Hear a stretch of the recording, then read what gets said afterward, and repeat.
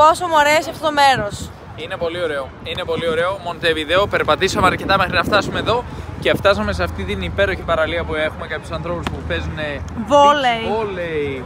Πλάγια Ραμύρες λέγεται η συγκεκριμένη παραλία ή αλλιώς Πλάσα Ραμύρες όπως την προφέρουν εδώ ή στο Buenos Aires. Να πούμε την αλήθεια, η προφορά είναι πολύ παραπλήσια.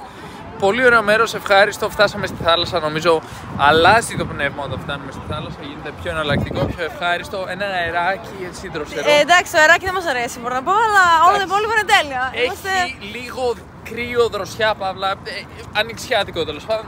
Μιλάμε για 20 βαθμούς περίπου εδώ μεταξύ. Για να Ε, μην, έλα, ε, βάλε και λίγη σάλτσα. Έχει κρύο. Υποφέρουμε εδώ στην Ουρουγουάη. Τέλος πάντων, περπατάμε προς Πούντα Καρέτας. Πιστεύω θα έχουμε φτάσει σε ένα 25 λεπτό κάπου εκεί.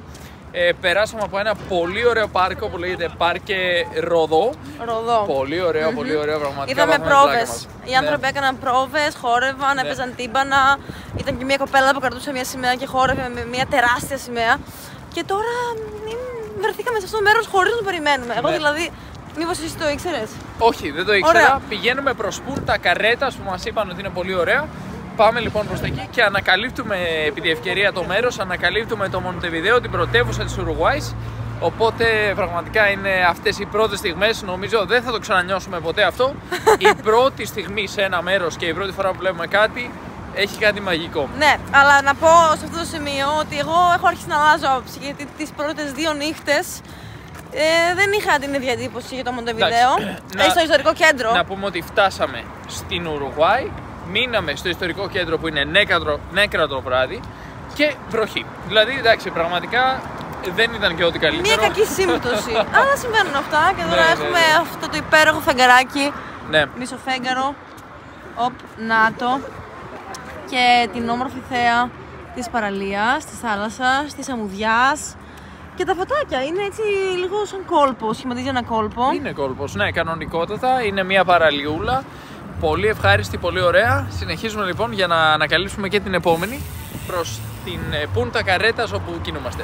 Περπατήσαμε και φτάσαμε στα πηγαδάκια. Βρίσκεται 5 χιλιόμετρα από το σπίτι αυτή η παραλία, λέγεται Πλάγια de los Positos, δηλαδή παραλία πηγαδάκια, μεταφράζεται ελεύθερα. Φυσάει, έχουμε περίπου 18 βαθμούς Κελσίου. Υπάρχει μόνο ένας άνθρωπος αυτή τη στιγμή δίπλα μας και εμείς. Όλοι οι άλλοι βρίσκονται στα σπίτια τους, τα οποία μάλλον είναι τα κτίρια στο αριστερό μας χέρι. Έχουμε μια παραλία γεμάτη με κτίρια, ακριβώς από δίπλα. Ε, νομίζω ότι είναι μια πολύ καλή περιοχή εδώ, Πούντα Καρέτας λέγεται γενικότερα η ευρύτερη περιοχή και είναι κατά μία έννοια το νέο κέντρο, δηλαδή εκεί που έχουμε χτίσει πολλά κτίρια, εδώ στην Ουρουγουάη έχουμε Εμείς. χτίσει πολλά κτίρια, ως ανθρωπότητα αν θέλετε, γενικά έχουμε αυτό το φαινόμενο. Όταν το κέντρο έχει κορεσμό, εμφανίζει κορεσμό, εδώ στη Λατινική Αμερική τουλάχιστον, αρχίζουν σιγά σιγά να χτίζουν εκτός κέντρου, να εμφανίζονται μέρη τα οποία είναι πολύ ευχάριστα ας πούμε, για τους ανθρώπους να Αυτό περπατάνε με λες. το σκύλο τους, να Αυτό κάνουν τη σκύλο. βολτούλα τους, ναι ας πούμε ναι. Ε, και τα κάνουν έτσι πιο ασφαλή, πιο καλά, πιο ας πούμε ένα μέρος στο οποίο αισθάνεσαι ασφάλεια, αισθάνεσαι ότι έχεις την άνεσή σου, μπορείς να παρκάρεις σχετικά εύκολα γιατί τα κοντομίνιουμ εδώ έχουν ας πούμε το δικό τους πάρκινγκ, είναι εύκολο να πας και να έρθεις από τη δουλειά σου και αρχίζουν να χτίζονται νέα κτίρια και έτσι οι άνθρωποι αγοράζουν κτίρια και φεύγουν από το ιστορικό κέντρο, το παλιό κέντρο ας πούμε και γίνεται μια αποκέντρωση. Αυτό έχουμε δει πολύ συχνά εδώ στην ε, Λατινική Αμερική. Εμείς ζούσαμε στο Ρίο de Janeiro μεταξύ του 2020 και 2022 Μπάχα τα και το είδαμε στην Μπάχα Τσιζούκα. Κάτι αντίστοιχο λοιπόν έγινε στο Ρίο de Janeiro που ξαφνικά μια αχανής έκταση που δεν ήταν, εκμετα... ήταν ανεκμετάλλευτη αν θέλετε, ήταν ε, ανεκμετάλλευτη και ξαφνικά Ήταν υπέροχη τροπική βλάστηση, την καταστρέψανε, κόψαν όλα τα ξύλα και χτίσαν κτίρια. πρακτικά έγινε αυτό ακριβώς που περιγράφει η Νίκη, εκεί που είχαμε έλλη, είχαμε δάση, είχαμε φύση με Ζωάκια, καπιβάρα, ε, κροκοδίλους. κροκόδιλους κλπ. Ξαφνικά χτίστηκαν τεράστια κοντομίνιουμ Τσιμέντο. με...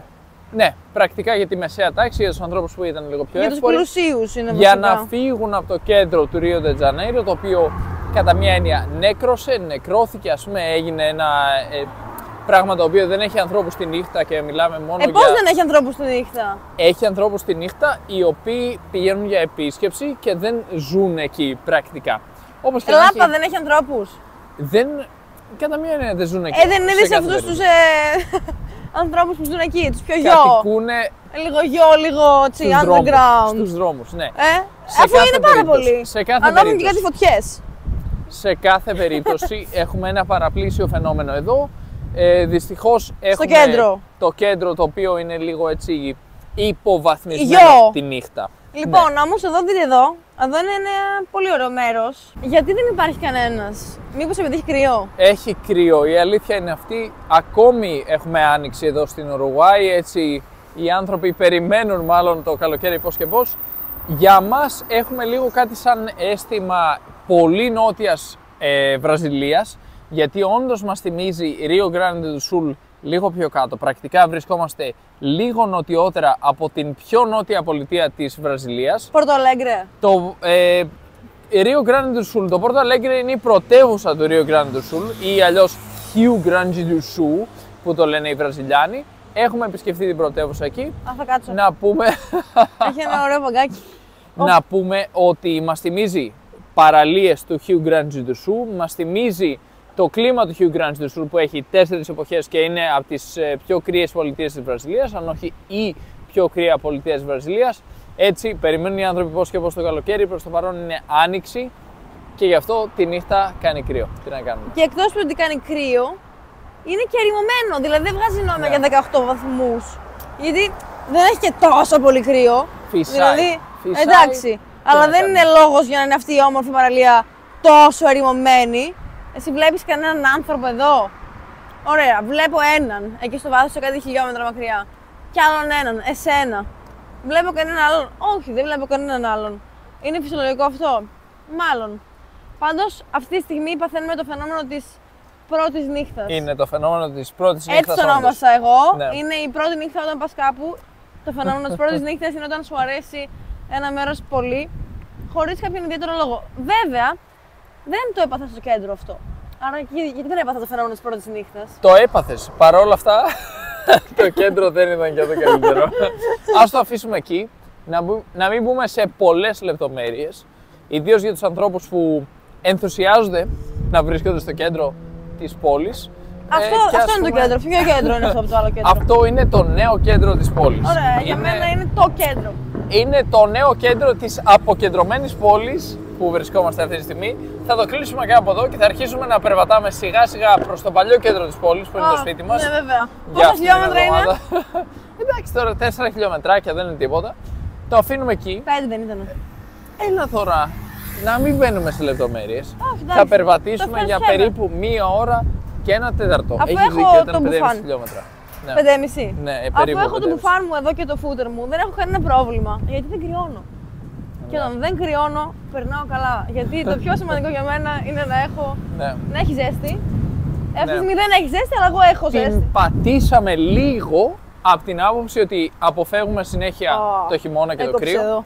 και καμιά φορά πέφτουμε σε κάτι σαν άνοιξη ή χειμώνα, ε, φθινόπωρο.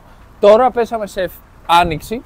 Ε, τελευταία φορά που είχαμε κάνει αυτή την αλλαγή Ευρώπη-Λατινική Αμερική πριν δύο χρόνια είχαμε πέσει σε φθινόπωρο το οποίο ήταν ε, στην Ρουμανία, δεν κάνω λάθος και λίγο Αγγλία πριν επιστρέψουμε στη Λατινική Αμερική. Άρα μας προλαβαίνει λίγο ο ερχομός του χειμώνα ας πούμε, αλλά τα καταφέρνουμε πάντα και αποφεύγουμε το χειμώνα και βρισκόμαστε μόνοι μας σε καλοκαίρι. Like, subscribe στο YouTube.